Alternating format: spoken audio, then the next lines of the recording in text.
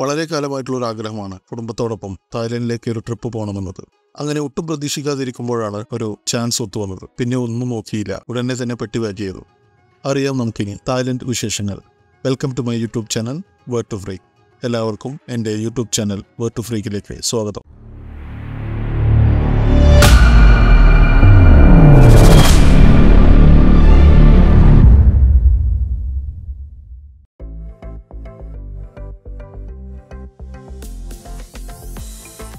വൈകിട്ട് ഏകദേശം നാല് മണിയോട് കൂടിയാണ് ഞങ്ങൾ വീട്ടിൽ നിന്നും യാത്ര തിരിച്ചത്.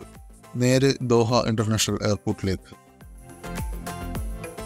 കൃത്യസമയത്ത് തന്നെ ബുക്ക് ചെയ്ത ഊബർ അപ്പാർട്ട്മെന്റിന്റെ താഴെ എത്തി.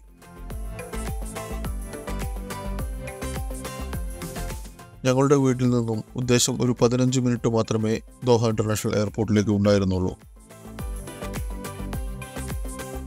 രണ്ടാം നമ്പർ ഗേറ്റിലാണ് ഞങ്ങളുടെ വണ്ടി നിർത്തിയത്. വണ്ടിയിലുണ്ടായിരുന്ന ലഗേജ് എല്ലാം എടുത്ത് ഞങ്ങൾ നേരെ എയർപോർട്ടിന്റെ ഉള്ളിലേക്ക് നടന്നു.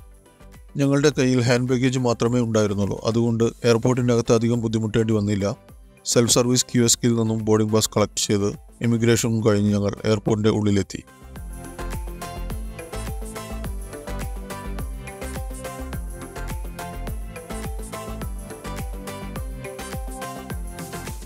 മാസ്റ്റർ കാർഡിന്റെയും ഡൈനേഴ്സ് ക്ലബിന്റെയും ക്രെഡിറ്റ് കാർഡ് ഉണ്ടായിരുന്നത് കൊണ്ട് ഞങ്ങൾ അൽമഹ ലോഞ്ചിൽ പോയി ഭക്ഷണം കഴിക്കാൻ തീരുമാനിച്ചു. വെറും ഒരു റിയാലിന് അടിപൊളി ബൊഫെ കിട്ടുമ്പോൾ ഒഴിവാക്കണ്ടല്ലോ?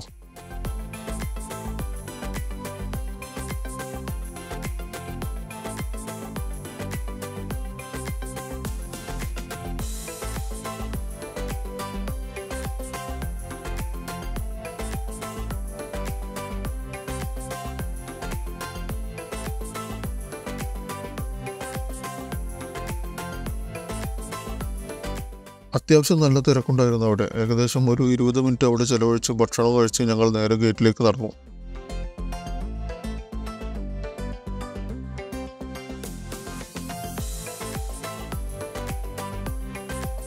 ഗേറ്റിലേക്ക് നല്ല ദൂരം ഉണ്ടായിരുന്നതിനാൽ ഞങ്ങൾ എയർപോർട്ടിലേക്ക് ഇന്റേണൽ ട്രെയിൻ ഉപയോഗിക്കാൻ തീരുമാനിച്ചു. ഓരോ മൂന്ന് മിനിറ്റിലും ട്രെയിൻ വന്നുകൊണ്ടിരിക്കും.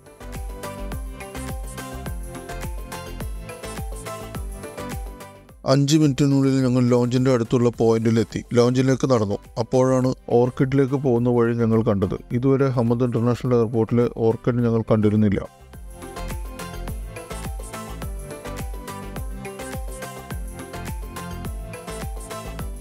എയർപോർട്ടിൽ അതിഗംഭീരമായി ഉണ്ടാക്കിയിട്ടുള്ള ഒരു ഗ്രീനറി ഏരിയ ആണ് ഓർക്കിഡ്. നിറയെ ചെടികളും മരങ്ങളും വെച്ച് പിടിപ്പിച്ച മനോഹരമായ ഒരു ചെറിയ വനം പോലെയുള്ള ഒരു ഇടം.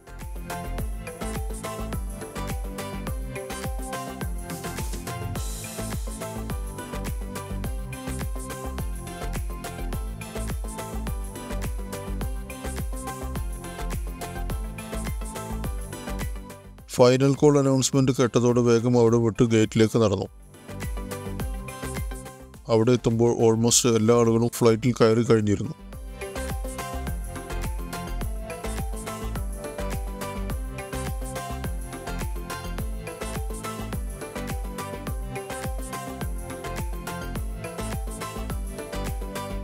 ഗേറ്റിൽ നിന്നും ബസ്സിലാണ് ഞങ്ങൾ ഫ്ലൈറ്റിലേക്ക് പോയത്.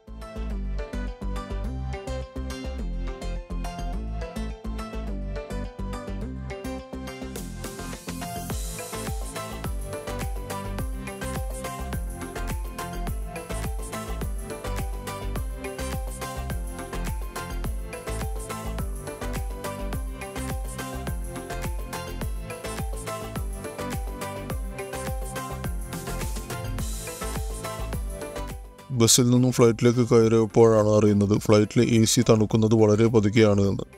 പുറത്ത് അത്രയ്ക്ക് ചൂടായതുകൊണ്ടാണ് എന്നാണ് എയർ ഹോസ്റ്റേഴ്സിനോട് ചോദിച്ചപ്പോൾ പറഞ്ഞത്. ആദ്യമായിട്ടായിരുന്നു ഖത്തർ എയർവേസിൽ ഇത്തരം ഒരു അനുഭവം. അല്പസമയത്തിനുള്ളിൽ ഫ്ലൈറ്റ് ടേക്ക് ഓഫ് ചെയ്തു. താഴെ മനോഹരമായ ഖത്തറിന്റെ ഭംഗി ആസ്വദിച്ച് ഞങ്ങൾ യാത്ര തുടങ്ങി.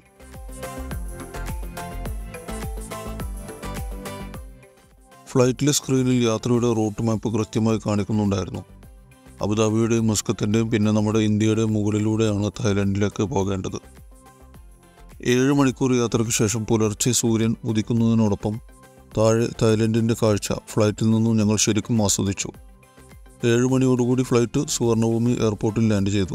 ഞങ്ങളുടെ യാത്രയിൽ എല്ലാ കാര്യങ്ങളെയും ഉൾക്കൊള്ളിച്ചുകൊണ്ട് ഓരോ ദിവസത്തെയും ഡീറ്റെയിൽ ആയ വീഡിയോ വരും ദിവസങ്ങളിൽ ഈ ചാനലിൽ നിങ്ങൾക്ക് കാണാവുന്നതാണ്. നിങ്ങൾ ഈ ചാനൽ സബ്സ്ക്രൈബ് ചെയ്തിട്ടില്ലെങ്കിൽ സബ്സ്ക്രൈബ് ചെയ്യാനും നോട്ടിഫിക്കേഷൻ ഓൺ ചെയ്യാനും ബെൽ ബട്ടൺ പ്രസ് ചെയ്യാനും മറക്കരുത്. ഫ്ലൈറ്റിൽ നിന്നും പുറത്തു കടന്ന് ആദ്യം ചെയ്തത് ഒരു സിം കാർഡ് സംഘടിപ്പിക്കുക എന്നതായിരുന്നു അത് കഴിഞ്ഞ് നേരെ വിസ ഓൺ അറൈവൽ കൗണ്ടറിലേക്ക് പോയി. വിസ എടുക്കുകയും തുടർന്ന് എമിഗ്രേഷൻ കൗണ്ടറിൽ പോയി വിസ സ്റ്റാമ്പ് ചെയ്യുകയും ചെയ്തു. ലഗേജ് ഇല്ലാത്തതുകൊണ്ട് തന്നെ പെട്ടെന്ന് എയർപോർട്ടിന്റെ അകത്തു നിന്നും എക്സിറ്റ് ചെയ്യാൻ സാധിച്ചു. ഇനി അടുത്ത കാര്യം റെന്റ് കാർ എടുക്കുകയാണ്. നേരത്തെ ഓൺലൈനിൽ ബുക്ക് ചെയ്തതുകൊണ്ട് അതിനും വലിയ ബുദ്ധിമുട്ട് ഉണ്ടായില്ല. വണ്ടിയുടെ കീ വാങ്ങി ഞങ്ങൾ പാർക്കിംഗ് ഏരിയയിലേക്ക് നടന്നു. അവിടെ ഞങ്ങളെ കാത്ത് റെന്റ് കാറിന്റെ സ്റ്റാഫ് വണ്ടിയുമായി കാത്തു നിൽക്കുന്നുണ്ടായിരുന്നു. വണ്ടിയുടെ ബോഡിയും ഇന്റീരിയറും എല്ലാം നല്ലപോലെ ചെക്ക് ചെയ്ത് ഞങ്ങൾ നേരെ പട്ടായിലേക്ക് ഡ്രൈവിംഗ് ആരംഭിച്ചു.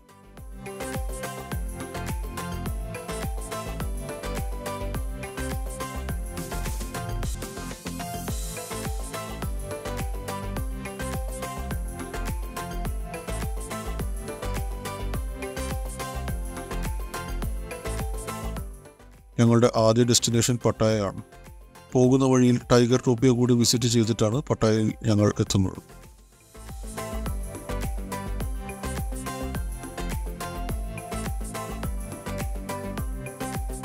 സുവർണഭൂമി എയർപോർട്ടിൽ നിന്നും ഒരു മണിക്കൂർ യാത്രാ സമയമുണ്ട് ടൈഗർ ടോപ്പിയയിലേക്ക് ടൈഗർ ടോപ്പിയ ഒരു ടൈഗർ സൂ ആണ്.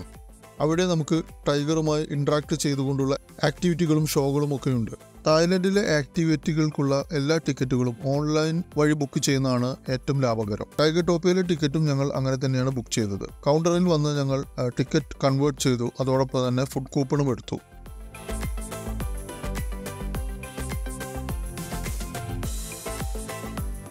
ബ്രേക്ക്ഫാസ്റ്റ് അവിടെ നിന്നും കഴിച്ചതിന് ശേഷം ഞങ്ങൾ അവരുടെ ക്ലബ് കാറിൽ ആക്ടിവിറ്റി ഏരിയയിലേക്ക് നീങ്ങി.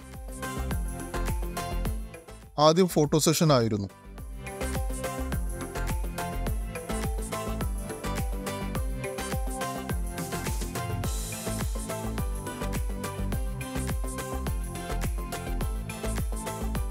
തുടർന്ന് ഷൂട്ട് ആൻഡ് ഫീഡും നോർമൽ ഫീഡിങ്ങും ചെയ്തു.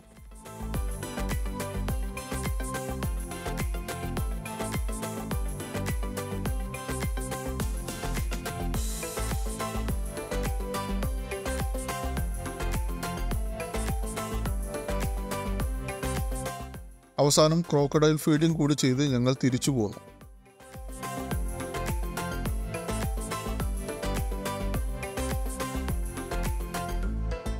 ടൈഗർ ടോപ്പിയിൽ നിന്നും നേരെ പട്ടായയിലേക്കാണ് ഞങ്ങൾ പോയത്. ടൈഗർ ടോപ്പിൽ നിന്നും ഒന്നര മണിക്കൂർ ഡ്രൈവ് ഉണ്ട് പട്ടായയിലേക്ക്.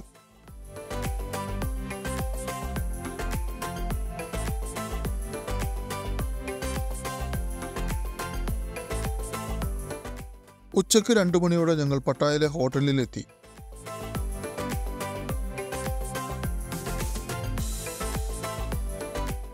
റൂമിൽ ചെന്ന് കുറച്ച് റെസ്റ്റ് എടുത്ത് വൈകിട്ട് ഞങ്ങൾ പട്ടായ എക്സ്പ്ലോറിംഗ് ആരംഭിച്ചു.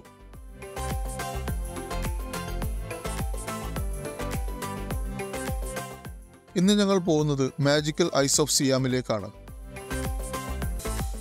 ടിക്കറ്റ് എടുത്ത് അകത്ത് കടന്ന് അവിടുത്തെ കാഴ്ചകൾ ഓരോന്നായി കണ്ടു. പുറത്ത് പ്ലാസ്റ്റർ ഓഫ് പാരീസ് കൊണ്ടും അകത്ത് ഐസ് കൊണ്ടുമുള്ള ഒരുപാട് നിർമ്മിതികൾ നമുക്ക് ഇവിടെ കാണാൻ സാധിക്കും. മൈനസ് ഡിഗ്രി തണുപ്പാണ് ഉള്ളിലുള്ളത്. ഒരു മണിക്കൂറോളം അവിടെ ചെലവഴിച്ചതിന് ശേഷം ഞങ്ങൾ മടങ്ങി.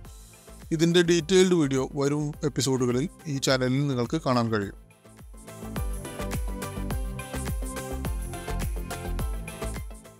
വരുന്ന വഴിയിൽ ഞങ്ങൾ പട്ടായ വാക്കിംഗ് സ്ട്രീറ്റ് കൂടി വിസിറ്റ് ചെയ്യാൻ തീരുമാനിച്ചു. ബീച്ച് റോഡിലൂടെ ഞങ്ങൾ വാക്കിംഗ് സ്ട്രീറ്റിലേക്ക് ഡ്രൈവ് ചെയ്തു. ഏകദേശം എട്ട് മണിയോടെ ഞങ്ങൾ അവിടെ എത്തി. ക്രൗഡ് ആയി വരുന്നതേ ഉള്ളൂ. പതിനൊന്ന് മണിക്ക് ശേഷമാണ് അവിടെ ശരിക്കും ഹ്യൂജ് ക്രൗഡ് ഉണ്ടാവുകയുള്ളൂ. അവിടുത്തെ കാഴ്ചകൾ കണ്ടും സ്ട്രീറ്റ് ഫുഡ് എക്സ്പീരിയൻസ് ചെയ്തും ഞങ്ങൾ പത്ത് മണിയോടെ ഹോട്ടലിലേക്ക് തിരിച്ചു പോന്നു. പട്ടായിലെ രണ്ടാമത്തെ ദിവസം ഞങ്ങളുടെ പ്ലാൻ തുടങ്ങുന്നത് കോറൽ ഐലൻഡ് ട്രിപ്പോട് കൂടിയാണ്. ഏജൻസിയുടെ വണ്ടിയിൽ ഞങ്ങൾ ബോട്ട് ജെട്ടിയിലേക്ക് തിരിച്ചു.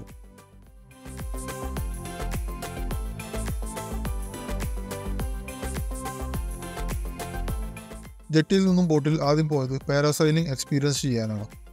തീർച്ചയായും നിങ്ങൾ എക്സ്പീരിയൻസ് ചെയ്യേണ്ട ഒന്നാണത്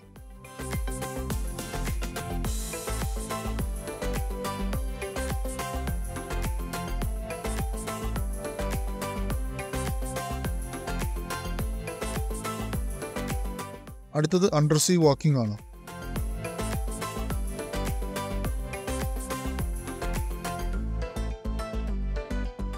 കടലിനടിയിലെ കാഴ്ചകൾ ആസ്വദിച്ചു കഴിഞ്ഞ് ഞങ്ങൾ കോറൽ ഐലൻഡിലേക്ക് തിരിച്ചു.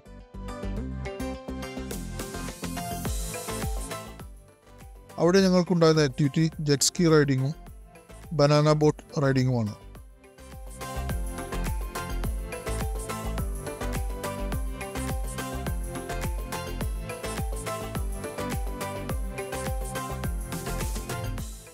കോറൽ ഐലൻഡിൽ നമുക്ക് ഒന്നര മണിക്കൂറാണ് ഏജൻസി അനുവദിച്ചു തന്നിട്ടുള്ള സമയം. അത് കഴിഞ്ഞ് നമ്മൾ വീണ്ടും തിരിച്ച് കരയിലോട്ട് പോകും.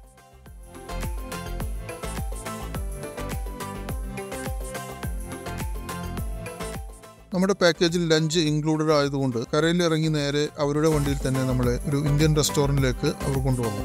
അവിടെ നമുക്ക് വേണ്ടി അവർ ബൊഫെ എല്ലാം സെറ്റ് ചെയ്തിരുന്നു. ഭക്ഷണമെല്ലാം കഴിഞ്ഞ് ഞങ്ങൾ തിരിച്ച് അവരുടെ തന്നെ വണ്ടിയിൽ ഞങ്ങളുടെ ഹോട്ടലിലേക്ക് മടങ്ങി. ഹോട്ടലിൽ വന്ന് കുളിച്ച് ഫ്രഷായി ഞങ്ങൾ അടുത്ത ലക്ഷ്യസ്ഥാനമായ പട്ടായ ഫ്ലോട്ടിംഗ് മാർക്കറ്റിലേക്ക് യാത്ര തിരിച്ചു. ഒരു മുപ്പത് മിനിറ്റ് ഡ്രൈവ് മാത്രമേ ഉണ്ടായിരുന്നുള്ളൂ ഹോട്ടലിൽ നിന്നും പട്ടായ ഫ്ലോട്ടിംഗ് മാർക്കറ്റിലേക്ക്. എല്ലാവർക്കും എൻട്രൻസ് ടിക്കറ്റ് എടുത്ത് ഞങ്ങൾ അകത്ത് കയറി. ആദ്യം തന്നെ അവിടുത്തെ ബോട്ടിംഗ് എക്സ്പീരിയൻസ് ചെയ്തു.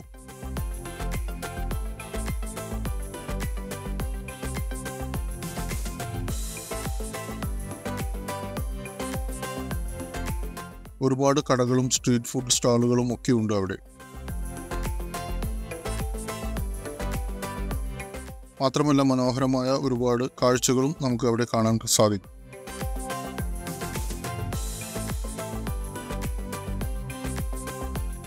വൈകിട്ട് ആറു മണിയോടെ അവിടുത്തെ കാഴ്ചകളെല്ലാം കണ്ട് ഞങ്ങൾ ഹോട്ടലിലേക്ക് തിരിച്ചു വന്നു.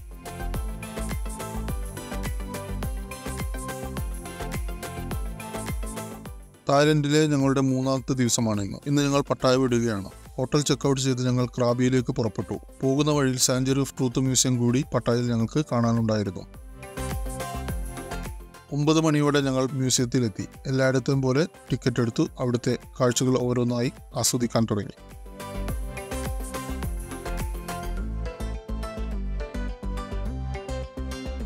ഈ മ്യൂസിയത്തെക്കുറിച്ച് ഒരുപാട് പറയാനും നിങ്ങളെ കാണിക്കാനും ഉണ്ട് അത് ഞാൻ സെപ്പറേറ്റ് എപ്പിസോഡായി ഈ ചാനലിൽ അപ്ലോഡ് ചെയ്യുന്നതാണ്.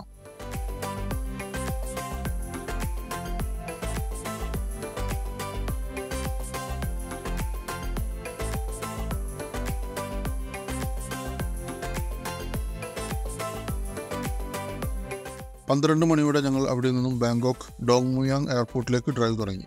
രണ്ടര മണിക്കൂർ യാത്രയുണ്ട് അവിടേക്ക്. അവിടെയാണ് റെന്റ് കാർ തിരിച്ചു കൊടുക്കേണ്ടത്. അവിടെ നിന്നും ഞങ്ങൾ ഡൊമസ്റ്റിക് ഫ്ലൈറ്റിലാണ് ക്രാബിയിലേക്ക് പുറപ്പെടുന്നത്.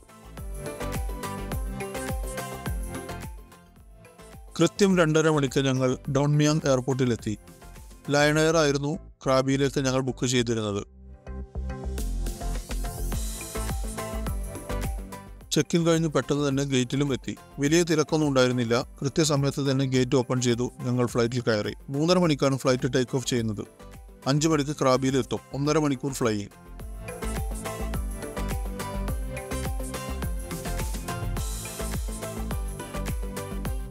അവിടുത്തെ എയർപോർട്ടിൽ നിന്നും ഞങ്ങൾ വീണ്ടും റെന്റ് കാർ ബുക്ക് ചെയ്തിരുന്നു. ബഡ്ജറ്റ് റെന്റ് കാറിന്റെ ഏജന്റ് അവിടെ ഞങ്ങളെ കാത്തു നിൽക്കുന്നുണ്ടായിരുന്നു. പാർക്കിങ്ങിൽ നിന്നും വണ്ടിയെടുത്ത് ഞങ്ങൾ ക്രാബി ഹോട്ടൽ ലക്ഷ്യമാക്കി യാത്രയായി.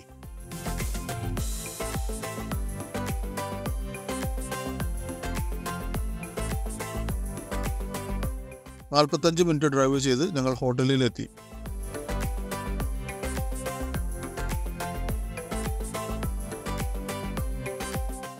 ഇന്ന് പ്രത്യേകിച്ച് പ്ലാനൊന്നുമില്ല. നന്നായി റെസ്റ്റ് എടുത്ത് നാളെ ഫോർ ഐലൻഡ് ട്രിപ്പിന് പോകണം രാത്രി ഭക്ഷണം കഴിക്കാൻ ഞങ്ങൾ ബീച്ച് സൈഡിലേക്ക് വന്നു. അവിടെ ഒരുപാട് റെസ്റ്റോറന്റുകളും കടകളും ഉണ്ട്. മഴയും നല്ല തണുപ്പും ഉണ്ടായിരുന്നതിനാൽ പെട്ടെന്ന് തന്നെ ഭക്ഷണം കഴിച്ച് ഞങ്ങൾ തിരിച്ചു വന്നു.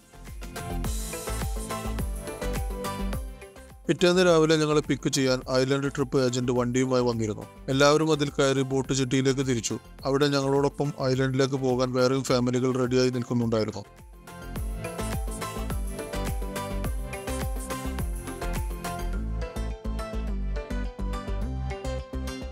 ലോങ് ടൈം ബോട്ടാണ് ഞങ്ങൾ ചൂസ് ചെയ്തിരുന്നത്. ഞങ്ങളുടെ കൂടെ ബോട്ടിൽ ഒരു മലേഷ്യൻ ഫാമിലി ആയിരുന്നു ഉണ്ടായിരുന്നത്. ഇന്ന് ഒരു മഴ ദിവസമാണ്. മെയ് മുതൽ സെപ്റ്റംബർ അവസാനം വരെ ഇവിടെ കാലാവസ്ഥ പ്രവചനാതീതമാണ്. എപ്പോൾ വേണമെങ്കിലും മഴ പെയ്യാം എപ്പോൾ വേണമെങ്കിലും വെയിലും വരാം. ലൈം സ്റ്റോൺ പാറക്കെട്ടുകളുള്ള ഒരുപാട് ദ്വീപുകൾ കടലിൽ നമുക്ക് കാണാൻ സാധിക്കും. ബോട്ടിൽ നിന്നും ഈ ദ്വീപുകളെ കാണാൻ അസാമാന്യ ഭംഗിയാണ്. ആദ്യം ഞങ്ങൾ എത്തിയത് റൈലി ബീച്ചിലേക്കും അതിനോട് ചേർന്ന് കിടക്കുന്ന ഫ്രാനാങ് ബീച്ചിലേക്കുമാണ്.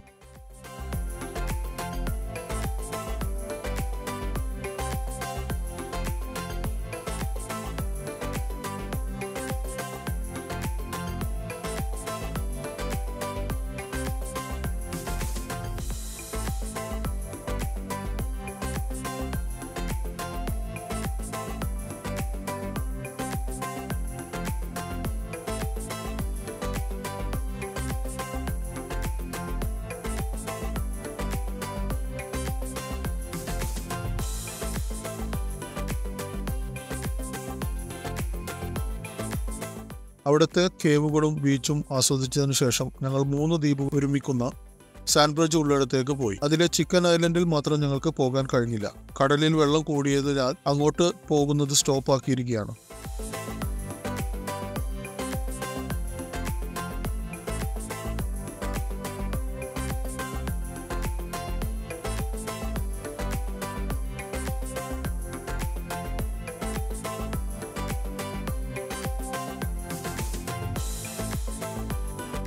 അത് കഴിഞ്ഞ് ഞങ്ങൾ സ്നോർക്കലിംഗ് ചെയ്യാനായി കോക്കായ ഐലൻഡിലേക്ക് പോയി. അവിടെ ഞങ്ങൾ ഒരു മണിക്കൂറോളം സ്നോർക്കലിംഗ് എൻജോയ് ചെയ്തു.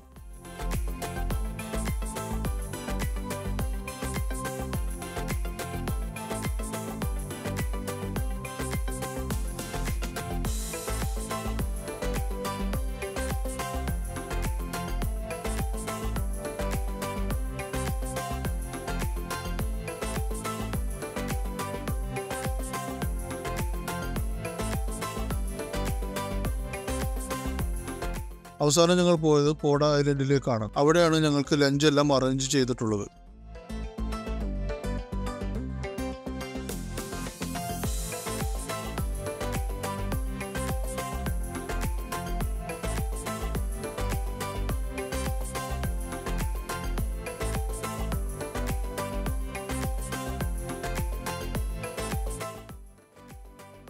ക്രാബിയിലെ ഏറ്റവും മനോഹരമായ ദ്വീപുകളിൽ ഒന്നാണ് പോഡ ഐലൻഡ്.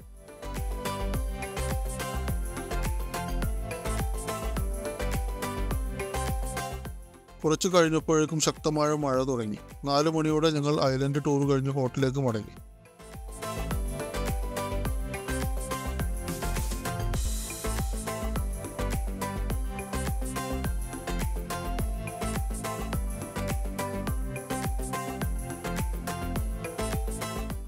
ഒന്ന് ഫ്രഷായി ഞങ്ങൾക്ക് ഇന്ന് തന്നെ ഫുക്കറ്റിലേക്ക് പോകാനുള്ളതാണ്.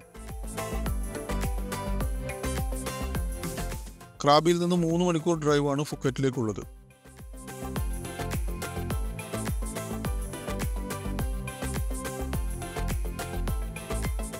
രാത്രി ഒമ്പത് മണിയോടെ ഞങ്ങൾ ഫുക്കറ്റിലെ ഹോട്ടലിൽ എത്തി യാത്രാക്ഷീണം ഉള്ളതുകൊണ്ട് വേറെ എങ്ങും ഇറങ്ങിയില്ല. അവിടെ തന്നെ നന്നായി റെസ്റ്റ് എടുത്തു. അടുത്ത ദിവസം ഞങ്ങളുടെ പ്ലാൻ ഓൾഡ് ഫുക്കറ്റ് ടൗണും പിന്നെ വൈകിട്ട് ഫെന്റാസി ഷോ കാണുകയുമാണ്.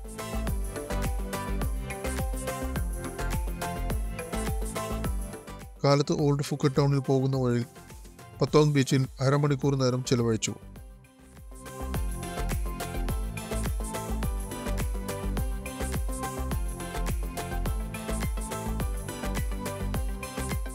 ഓൾഡ് ഫുക്കറ്റ് ടൗണിൽ ഒരുപാട് കാഴ്ചകൾ നമുക്ക് കാണാനുണ്ട്. എല്ലാം വിശദമായി വരുന്ന എപ്പിസോഡുകളിൽ നിങ്ങൾക്ക് കാണാം.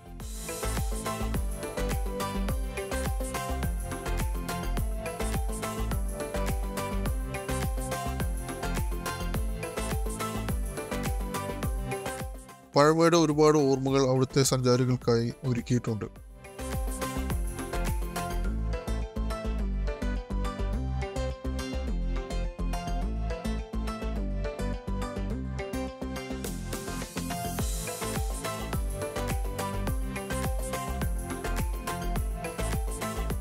ഉച്ചയ്ക്ക് രണ്ട് മണിയോടെ ഞങ്ങൾ ഹോട്ടലിലേക്ക് തിരിച്ചു പോന്നു. വൈകിട്ട് അഞ്ച് മണിക്ക് ഞങ്ങൾ ഫെൻഡാസിയോ ഷോ കാണാൻ കാർണിവൽ ഗ്രൗണ്ടിലെത്തി. തിരക്കേടില്ലാത്ത മഴ ഉണ്ടെങ്കിലും അതൊന്നും ആരും വകവെക്കുന്നുണ്ടായിരുന്നില്ല. ജീവിതത്തിൽ ഒരിക്കലെങ്കിലും കാണേണ്ട അപൂർവം ഷോകളിൽ ഒന്നാണിത്. ഞാൻ ഹൈലി റെക്കമെൻഡ് ചെയ്യുന്നു ഈ ഷോ ടിക്കറ്റ് എടുത്ത് ഞങ്ങൾ അകത്ത് കടന്നു. അവിടുത്തെ കാഴ്ചകൾ നമ്മളെ ശരിക്കും അത്ഭുതപ്പെടുത്തും. വർണ വെളിച്ചങ്ങളുടെ ഒരു വിസ്മയ ലോകം തന്നെയാണ് അവിടെ.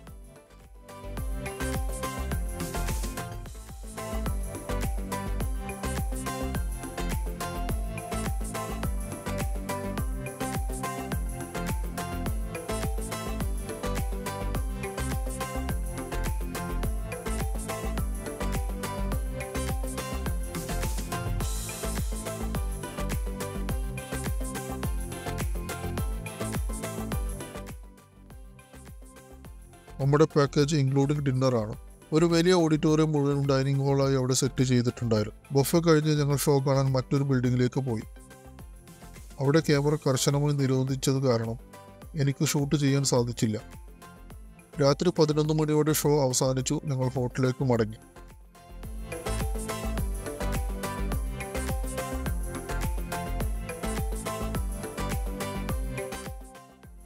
അടുത്ത ദിവസം ഞങ്ങൾക്ക് പോകാനുള്ളത് ഹനുമാൻ വേൾഡ് അഡ്വഞ്ചറസ് പാർക്കിലേക്കാണ്. ഹോട്ടലിൽ നിന്ന് മുപ്പത് മിനിറ്റ് യാത്ര. കാലത്ത് പത്ത് മണിക്ക് അവിടെ ഞങ്ങൾക്ക് എത്തണമായിരുന്നു. ഇതൊരു ഫുൾ അഡ്വഞ്ചറസ് ആൻഡ് എന്റർടൈൻമെന്റ് പാർക്കാണ്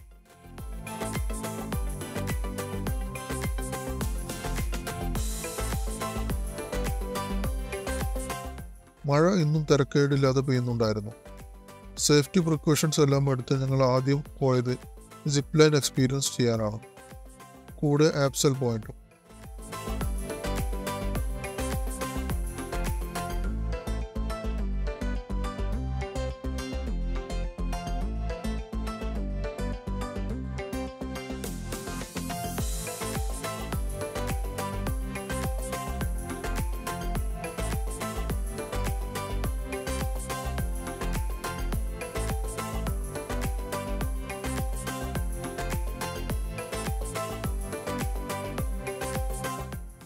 അത് കഴിഞ്ഞ് റോളർ കോസ്റ്റ് ആയിരുന്നു. അതൊരു സൂപ്പർ എക്സ്പീരിയൻസ് ആയിരുന്നു.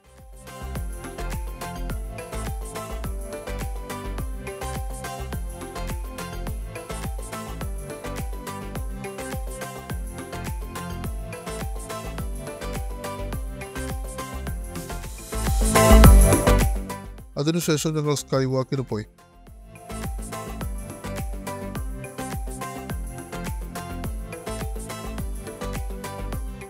എല്ലാം കഴിഞ്ഞ് മൂന്ന് മണിയോടെ ഞങ്ങൾ ഹോട്ടലിലേക്ക് തിരിച്ചു വന്നു. അരമ്പാൻ വേൾഡിന്റെ സെപ്പറേറ്റ് എപ്പിസോഡ് ഈ ചാനലിൽ നിങ്ങൾക്ക് ഉടൻ കാണാൻ സാധിക്കും. വൈകിട്ട് ഞങ്ങൾ ഫുക്കറ്റ് വാക്കിംഗ് സ്ട്രീറ്റ് കാണാൻ ഇറങ്ങി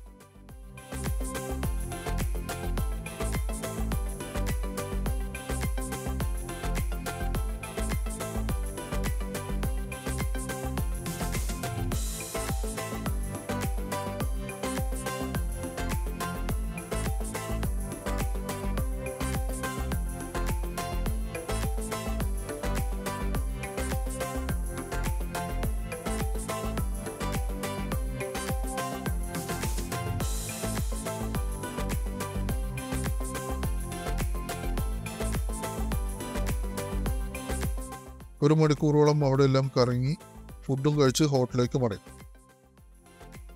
ഇന്നാണ് ജെയിംസ് ബോണ്ട് ഐലൻഡ് ട്രിപ്പ്. ഇന്ന് ഞങ്ങളുടെ ഫുക്കറ്റിലെ ലാസ്റ്റ് ഡേ ആണ്. കാലത്ത് തന്നെ ട്രിപ്പ് ഏജന്റ് വണ്ടിയുമായി വന്നു ഞങ്ങളെ പിക്ക് ചെയ്തു. ബോട്ട് ജെട്ടിയിലേക്ക് ഒരു മണിക്കൂർ യാത്ര ഉണ്ടായിരുന്നു.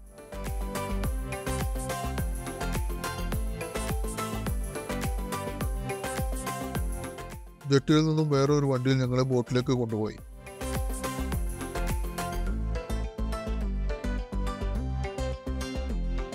വലിയൊരു ഡബിൾ ഫ്ലോർ ബോട്ടായിരുന്നു ഞങ്ങളുടെ ട്രിപ്പിന് ഉണ്ടായിരുന്നത്.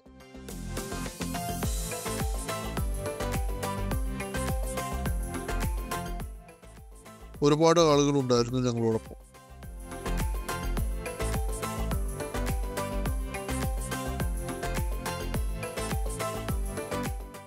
അരമണിക്കൂർ കടലിലൂടെ യാത്ര ചെയ്ത് ഞങ്ങൾ ഒരു ഐലൻഡിലെത്തി അവിടെ കയാക്ക് ബോട്ടിൽ ഞങ്ങളെ ഒരു വലിയ കേവിലേക്ക് കൊണ്ടുപോയി.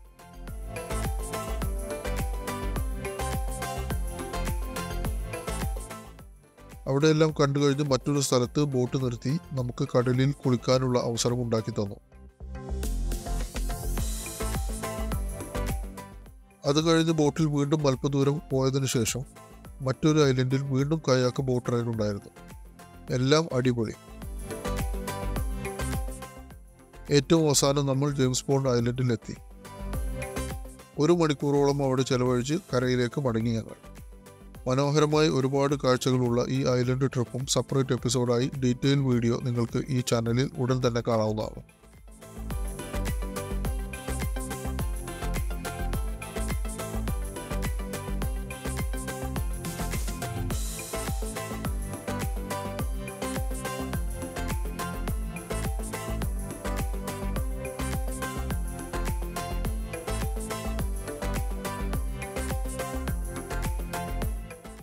നാല് മണിയോടെ ഞങ്ങൾ കരയിൽ തിരിച്ചെത്തി.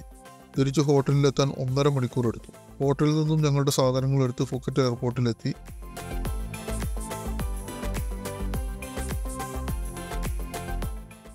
രാത്രി പത്ത് മുപ്പതിനായിരുന്നു ഞങ്ങളുടെ എയർ ഏഷ്യ ഫ്ലൈറ്റ്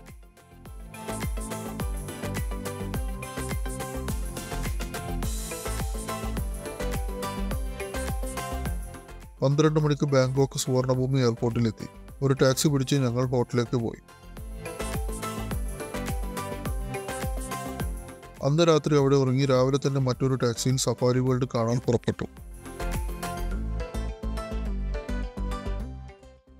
അവിടെ മറൈൻ പാർക്കിൽ ഒരുപാട് കാഴ്ചകളും ഷോകളും ഒക്കെ ഉണ്ടായിരുന്നു. കൂടാതെ സഫാരി പാർക്കും കണ്ട് വൈകിട്ട് അഞ്ച് മണിവരെ ശരിക്കും എൻജോയ് ചെയ്തു.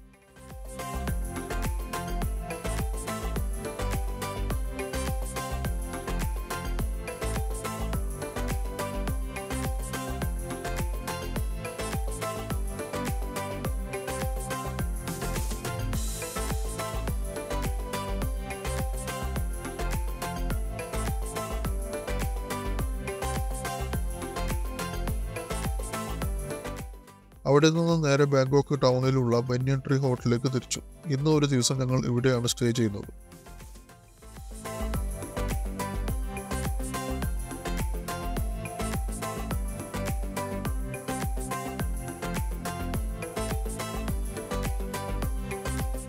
രാത്രി റൂഫ് ടോപ്പ് ഡിന്നറും കാലത്ത് ബ്രേക്ക്ഫാസ്റ്റും എല്ലാം കഴിച്ച് ഉച്ചയോടെ അവിടെ വെക്കേറ്റ് ചെയ്തു. അടുത്ത ഹോട്ടലിലേക്ക് നീങ്ങി ഞങ്ങൾ.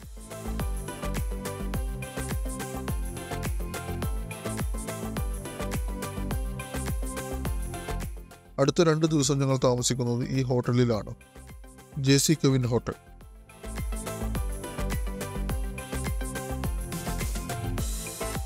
വൈകിട്ട് ഞങ്ങൾ ചോക്ലേറ്റ് വില്ല കാണാൻ പോയി. നല്ല മഴ ഉണ്ടായിരുന്നത് കാരണം വിചാരിച്ച പോലെ അവിടെ എൻജോയ് ചെയ്യാൻ സാധിച്ചില്ല.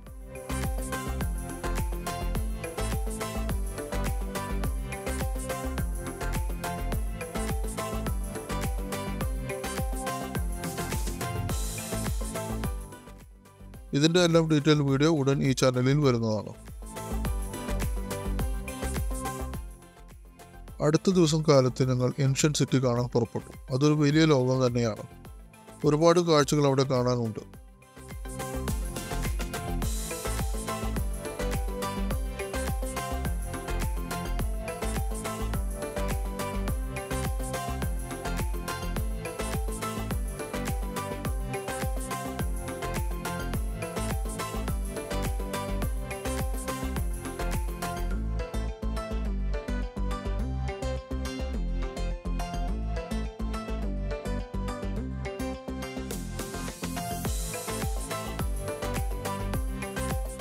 ഉച്ചയോടെ അവിടെ നിന്നും തിരിച്ചു വൈകിട്ട് ക്രൂസ് ഡിന്നർ ബുക്ക് ചെയ്തിരുന്നു.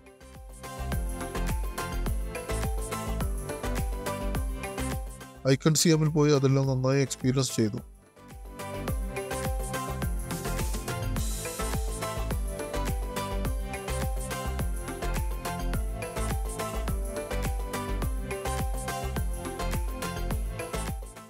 അടുത്ത ദിവസം തായ്ലൻഡിലെ അവസാന ദിവസമാണ്.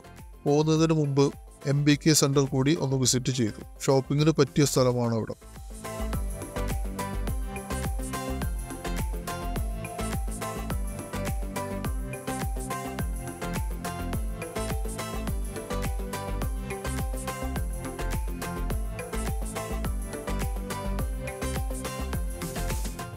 അവിടെ രണ്ട് മണിക്കൂർ നേരം ചെലവഴിച്ചു. പിന്നീട് ഹോട്ടലിൽ നിന്നും ലഗേജ് എല്ലാം എടുത്ത് ഞങ്ങൾ എയർപോർട്ടിലേക്ക് പോയി.